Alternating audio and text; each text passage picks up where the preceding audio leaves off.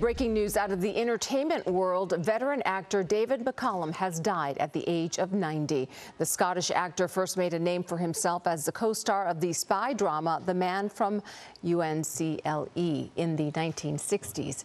Uh, he most uh, recently co-starred as Chief Medical Examiner Donald Ducky Mallard on NCIS. McCallum died of natural causes surrounded by family at a New York hospital. Hello, I'm Mark Brown. Get more great ABC7 content by clicking the subscribe button for our YouTube channel and download the ABC7 Los Angeles streaming app on Fire TV, Android TV, Apple TV, and Roku to watch on your TV.